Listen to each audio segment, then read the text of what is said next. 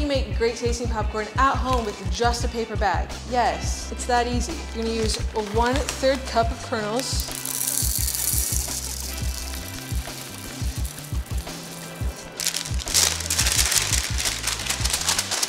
Add it to your bag. Fold your bag up several times so there's a good seal on it. When we're putting this in the microwave, don't use the microwave popcorn button. Just set it on high for a minute and a half, two and a half minutes, or until there's about a one second lag in between the pops. Let's toss this bad boy in.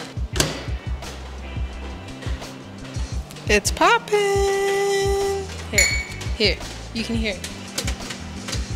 It works, I told you it works. Once your popcorn is done popping, carefully open the bag add it to a bowl. At this point, you can add lots of butter, spritz some oil on there, and then add whatever seasoning or spices you want the long list of seasoning and spices that Dell Cove has. My personal favorite is the white cheddar, but choose your own adventure. As always, be sure to like and follow us for more tips, tricks, and recipes. Cheers. Oh my goodness.